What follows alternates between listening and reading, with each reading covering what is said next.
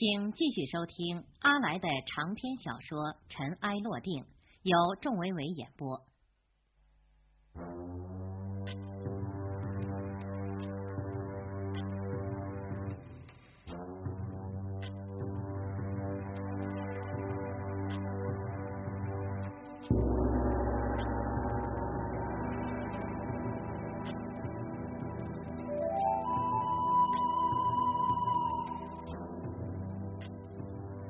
家都知道，对留在关寨里的人来说，这是活在世上的最后一个晚上了。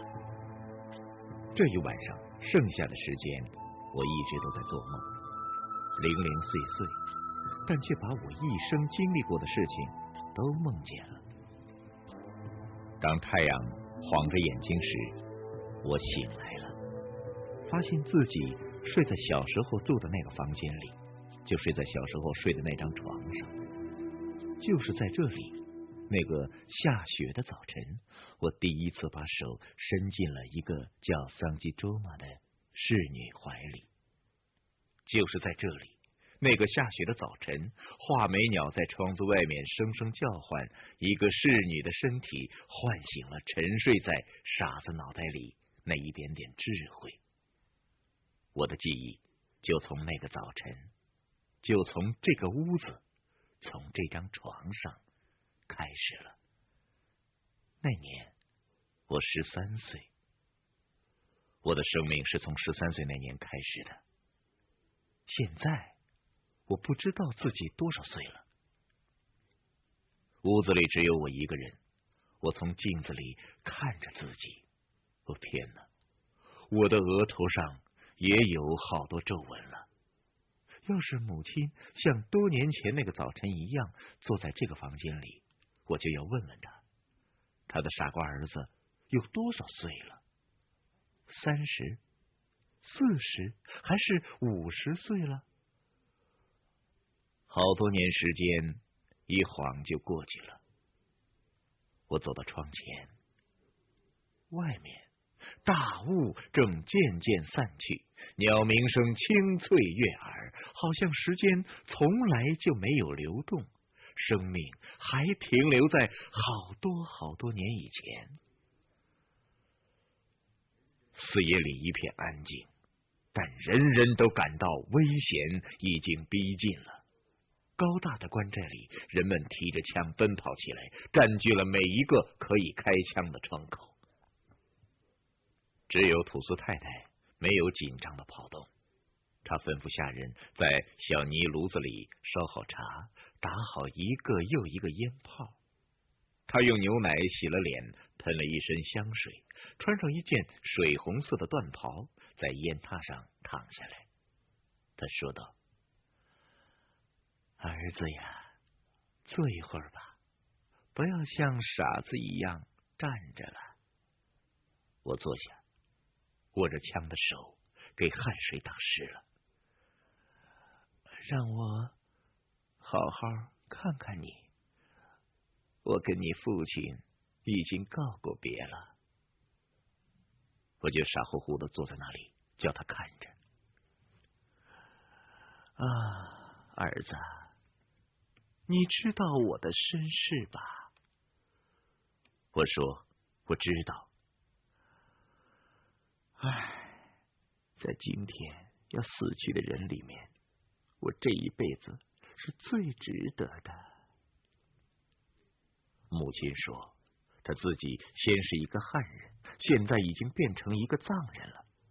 闻闻自己身上从头到脚散发的都是藏人的味道了。当然，他感到最满意的还是从一个下等人变成了上等人。他叫我弯下腰，把嘴巴凑在我耳朵边上说：“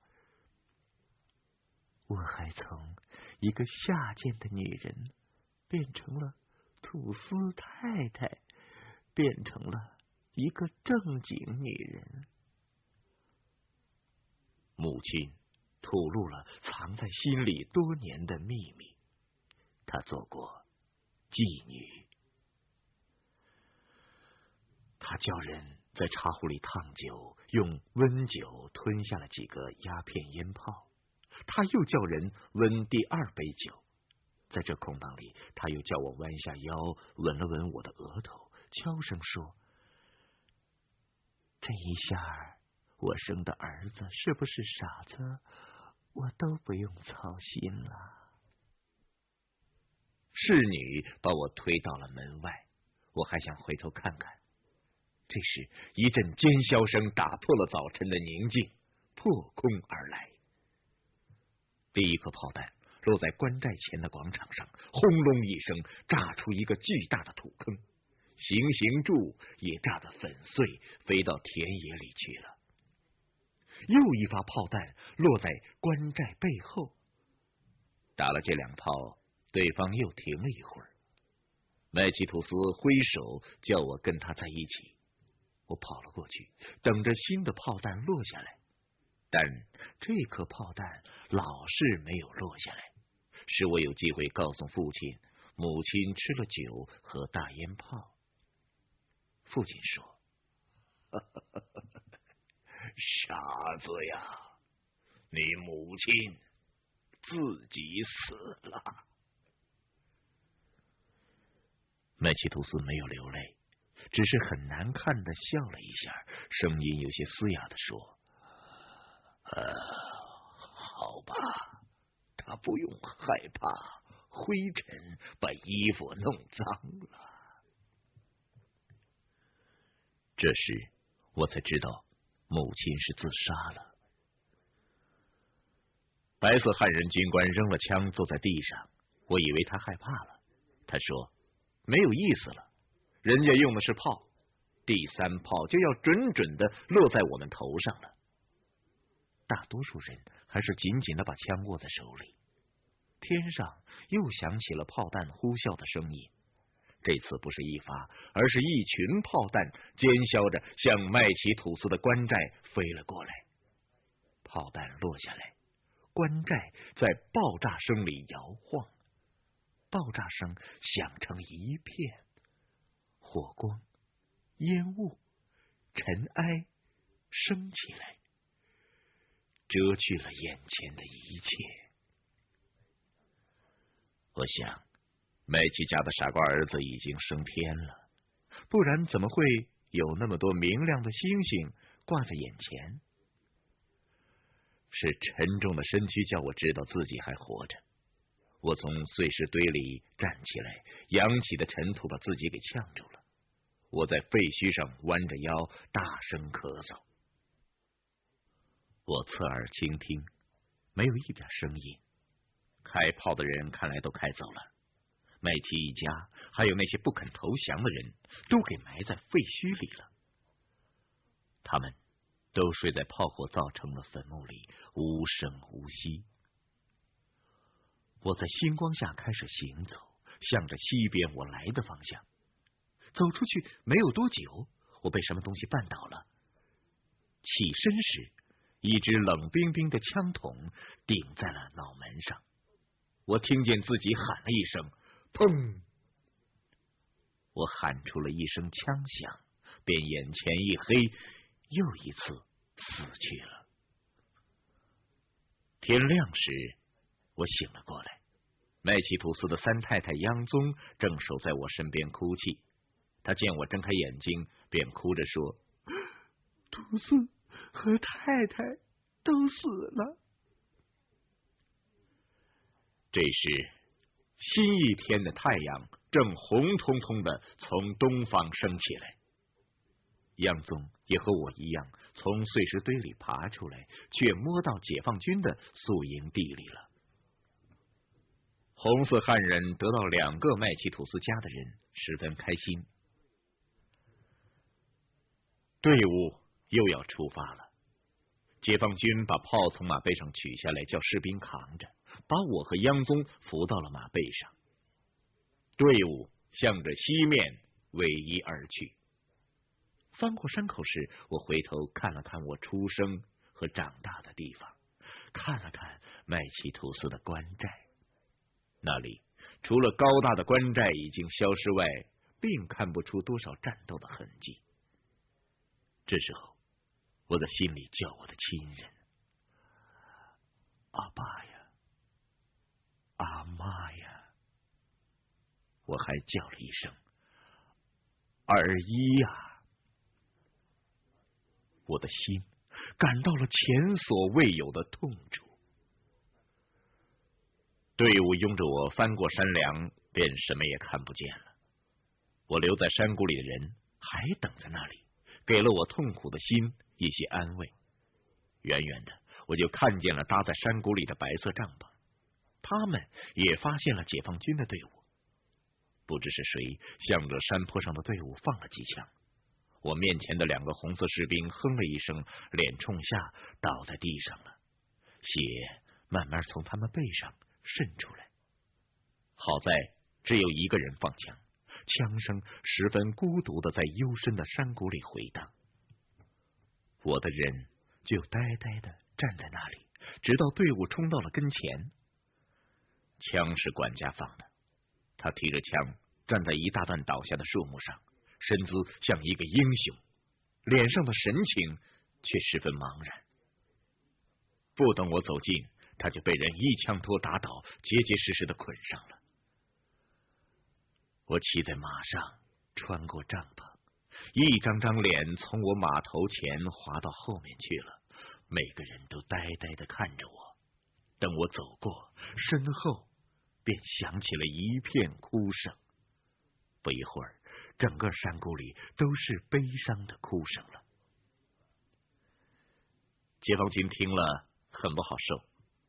每到一个地方，都有许许多多人大声欢呼。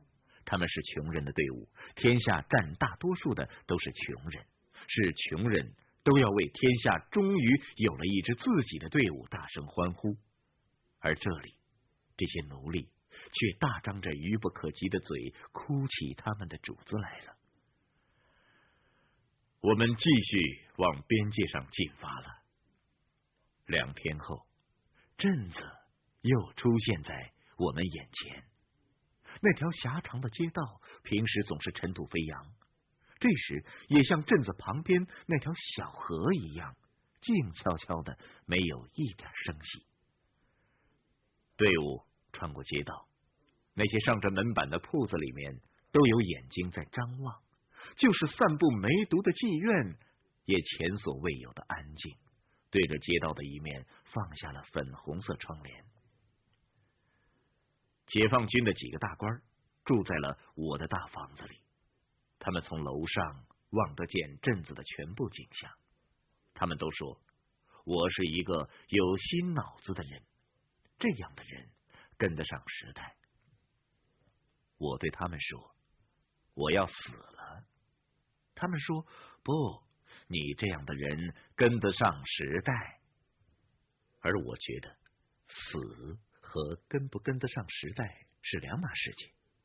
他们说：“你会是我们共产党人的好朋友，你在这里从事建设，我们来到这里就是要在每一个地方都建起这样漂亮的镇子。”最大的军官还拍拍我的肩膀说。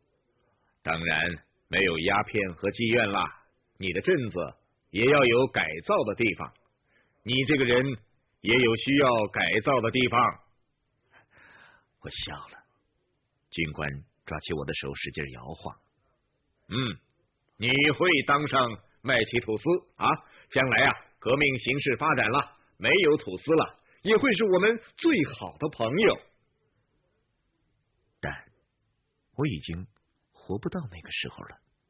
我看见麦奇吐司的精灵已经变成一股旋风，飞到天上，剩下的尘埃落下来，融入大地。我的时候就要到了。我当了一辈子傻子，现在我知道自己不是傻子，也不是聪明人。不过是在土司制度将要完结的时候，到这片奇异的土地上来走了一遭。是的，上天叫我看见，叫我听见，叫我置身其中，又叫我超然物外。上天是为了这个目的，才让我看起来像个傻子的。书记官坐在他的屋子里，奋笔疾书。从北方。传来了荣共土司全军覆灭的消息，这消息在我心上并没有激起什么波澜。因为在这之前，麦奇吐司也一样灰飞烟灭了。一天，红色汉人们集中的把土司们的消息传递给我，他们要我猜猜拉雪巴土司怎么样了。我说，我的朋友他会投降。哈哈，对，那个和气的解放军军官说，他为别的土司做了一个很好的榜样啊。而我的看法是，拉雪巴吐司知道自己是个弱小的吐司，所以他就投降了。当年我给他一点压力，就叫他弯下了膝盖，而不像汪波吐司一次又一次拼命反抗。但出乎意料的是，汪波吐司也投降了。可笑的是，他以为吐司制度还会永远存在，所以便趁机占据了一些别的吐司的地盘。其中就有已不存在的麦奇吐司的许多地盘。听到这个消息，我禁不住笑了。还不如把塔纳抢去实在一些呢。红色汉人也同意我的看法。荣共吐司的抵抗十分坚决，只有很少的人活着落在了对方手里。活着的人都被反绑着双手带到这里来了。在这些人中间，我看到了黄师爷和塔娜。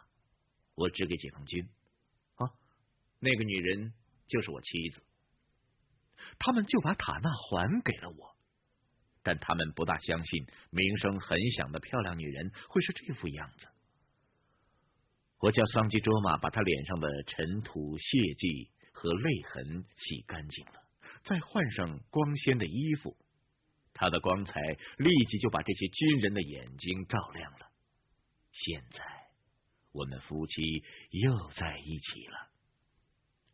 我还想救黄师爷，我一开口，解放军军官就笑着问我：“ 为什么呀？”“哦，他是我的师爷。”“嗯，不，这些人是人民的真正敌人。”结果。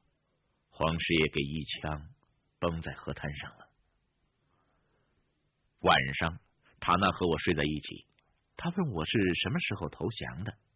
当他知道我没有投降，而是糊里糊涂被活捉时，就笑了起来。笑着笑着，泪水就落在了我的脸上。他说：“傻子呀，每次你都叫我伤了你，又叫我觉得你可爱。”他真诚的语气打动了我，但我还是直直的躺着，没有任何举动。后来他问我是不是真不怕死，我刚要回答，他又把指头竖在我嘴前说：“哎，好好想想，再回答我吧。”我好好想了想，又使劲想了想，结论是我真的不怕。于是。塔娜在我耳边轻声说：“ 天哪，我又爱你了。”他的身子开始发烫了。这天晚上，我又要了他，疯狂的要了他。过后，我问他是不是有梅毒，他咯咯的笑了。傻子呀，我不是问过你了吗？可是你只问了。我怕不怕死啊？我美丽的太太她说：“死都不怕，还怕梅毒吗？” 我们两个人都笑了。我问他呢，他知不知道自己什么时候死？回答是不知道。他又问我同样的问题，我的回答是明天。两个人沉默了一阵，然后。又笑了起来。这时，曙光已经穿过窗户，落在了床前。他那说：“那还要等到下一次太阳升起来。”哎，我们多睡一会儿吧。我们就背靠着背，把被子裹得紧紧的睡着了。我连个梦都没有做，醒来已经是中午了。我趴在栏杆上，看着镇子周围越来越深的春天的色调，便看到麦琪家的仇人，那个店主正抱着一坛酒穿过镇子向这里走来。看来我已经等不到明天了。我对妻子说：“塔娜呀，你到房顶上看看镇子上人们在干些什么吧。”哎，傻子呀！你的要求总是那么荒唐，但你的语调从来没有这么温柔过。好，我就上房顶替你去看看吧。我重新回到屋子里，坐下不久，就响起了敲门声。是我的命来敲门了。门虚掩着，他还是一下又一下，不慌不忙的敲着，直到我叫他进来，他才抱着一坛子酒进来了。他一只手抱着酒坛，一只手放在长袍的前襟底下，说：“少爷。”我给你送酒来了，放下吧。你不是来送酒的，你是来杀我的。他手一松，那坛酒就跌在地上粉碎了。屋子里立即就充满了酒香。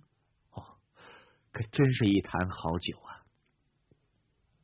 我说。你的弟弟是红色藏人了，红色藏人是不能随便杀人的。复仇的任务落到你头上了。他哑着嗓子说：“这是我最好的酒，我想好好请你喝一顿酒。”来不及了，我的妻子马上就要下来，你该动手了。他便把另一只手从长袍的前襟下拿出来，手里是一把亮晃晃的刀子。他苍白的额头上沁出了汗水，向我逼了过来。我说：“啊，等等！”我自己爬到床上躺下来，这才对他说：“来吧。”等他举起了刀子，我又一次说：“哎，等等！”他问我要干什么？我想说，酒真香。说出口来却是，你叫什么？你的家族姓什么？是的，我知道他们两兄弟是我们麦琪家的仇人，但却忘了他们家族的姓氏了。我的这句话把这个人深深的伤害了。本来他对我说不上有什么仇恨，但这句话使仇恨的火焰在他眼里燃了起来，而满屋子弥漫的酒香几乎使我昏昏欲睡了。刀子，锋利的刀子，像一块冰扎进了我的肚皮，不疼，但是冰冰凉。很快，冰就开始发烫了。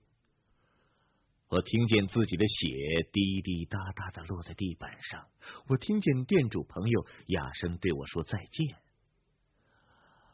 哦，现在上天呐，叫我来到这个世界上的神灵啊！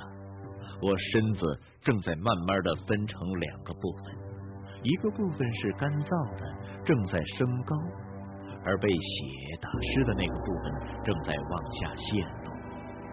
这时。我听见了妻子下楼的脚步声，我想叫一声她的名字，但却发不出什么声音了。我上天呐！如果灵魂真有轮回，叫我下一生再回到这个地方，我爱这个美丽的地方。神灵啊，我的灵魂终于挣脱了流血的躯体。飞升起来了，直到阳光一晃，灵魂也飘散，一片白光，就什么都没有。血滴在地板上，是好大一汪。我在床上变冷时，血也慢慢的在地板上变成了黑夜的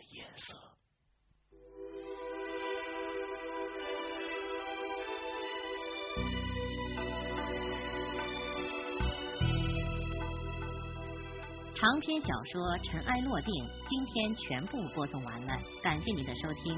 这次节目播送完了。